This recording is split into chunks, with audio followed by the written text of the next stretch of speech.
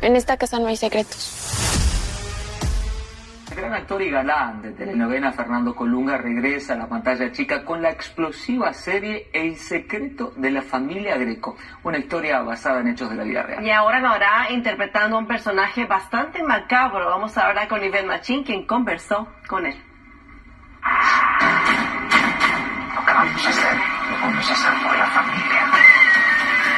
Fernando, qué felicidad volverte a ver y tenerte de regreso en nuestras pantallas con este gran proyecto del secreto de la familia Greco.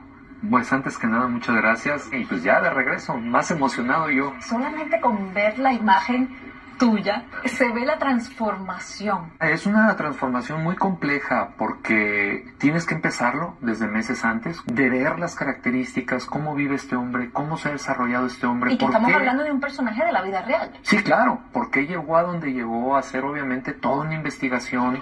Cuéntame un poquito más del personaje. Mira, Aquiles es como te digo un eh, policía retirado, se retira por una- un suceso que tiene y a partir de ahí el hombre creo que él está convencido claramente de que él está llevando a su familia a un lugar conveniente. Y todo por un estatus económico.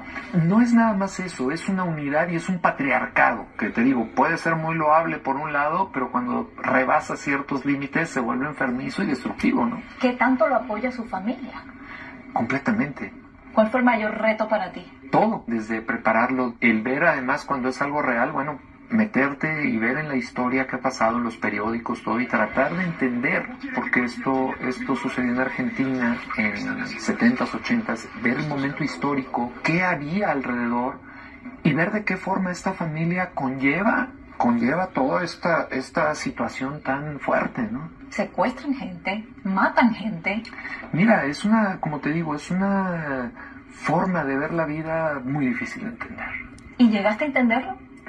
Mira, creo que pude entender, no justificar, pude entender por qué sucedían las cosas, por qué este hombre iba, iba maquinando, y sí creo que en algún momento, no en mi conciencia, sino en la conciencia de él, a lo mejor él creía que estaba haciendo siempre lo correcto.